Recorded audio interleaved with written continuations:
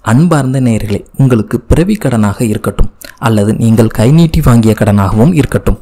எல்லா வகையான கடன் பிரச்சனைகளுக்கும் ஒரு தீர்வு கொடுக்கக்கூடிய சக்தி அந்த பெருமாளுக்கு உண்டு. பெருமாளின் பாதங்களை பக்தியோடும் உண்மையான அன்போடும் பற்றிக்கொள்பவர்களுக்கு பிரச்சனை ஒரு பாரமாக நிச்சயம் இருக்காது. சரி தீராத பண கஷ்டம் உள்ளது தீரான கடன் சுமையும் உள்ளது. வட்டி கட்டக்கூட முடியாத சூழ்நிலையில் வறுமையில் இருப்பவர்கள் நம்பிக்கையோடு இந்த பரிகாரத்தை செய்து பாருங்கள். நிச்சயம் உங்களுடைய வாழ்க்கையில் நல்லதொரு மாற்றத்தை கூடிய சீக்கிரம் காண்பீர்கள். இதுவரை நமது சேனலை சப்ஸ்கிரைப் செய்யாதவர்கள் கீழிருக்கும் ரெட் கலர் சப்ஸ்கிரைப் பட்டனை கிளிக் செய்து சப்ஸ்கிரைப் செய்து கொள்ளவும். நேர்களை புதன்கிழமை காலை ஆறு மணியிலிருந்து ஏழு மணிக்குள் இந்த பரிகாரத்தை செய்ய வேண்டும். ஒரு சதுர வடிவில் இருக்கும் மஞ்சள் நிற துணியை எடுத்துக்கொள்ளுங்கள் அதன் உள்ளே இரண்டு கொட்டைப்பாக்கு மூன்று கிராம்பு மூன்று ஏலக்காய் மூன்று ஒரு ரூபாய் நாணயம் ஒரு விராலி மஞ்சள். இந்த பொருட்களை வைத்துவிட்டு இதை ஒரு மஞ்சள் நிற நூலில் சிறிய முடிச்சுகளாக கட்டி போட்டு அப்படியே பெருமாளின் பாதத்தில் வைக்க வேண்டும். உங்களுடைய வீட்டில் பெருமாளின் படம் இருக்கும் அல்லவா? அந்த பெருமாளின் பாதங்களில் இந்த முடிச்சை வைத்துவிட்டு என்னுடைய கடன் சீக்கிரம் தீர வேண்டும்.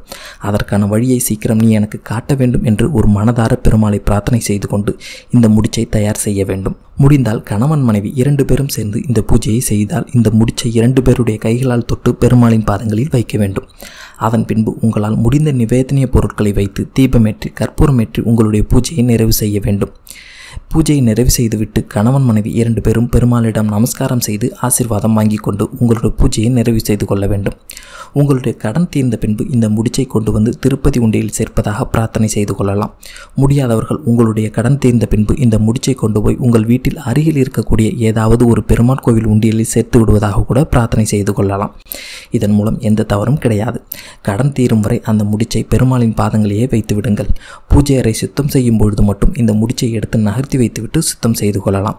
இவ்வாறு இந்த பரிகாரத்தை முழு நம்பிக்கையோடு செய்து பாருங்கள். உங்களுடைய கடன் தொகைக்கு ஏற்றவாறு கூடிய சீக்கிரத்திலேயே கடன் பிரச்சனை ஒரு முடிவுக்கு வந்துவிடும். வெறும் பரிகாரத்தை மட்டும் செய்துவிட்டு கூரையை பித்து கொண்டு பணம் வரும் என்று மேல் நோக்கி பார்த்து கொண்டு உட்கார்ந்திருக்கக்கூடாது உங்களுடைய பணப்பிரச்சனை தீர்க்க எந்த வேலையை நீங்கள் செய்ய வேண்டுமோ அதை தொடர்ந்து செய்து வாருங்கள்.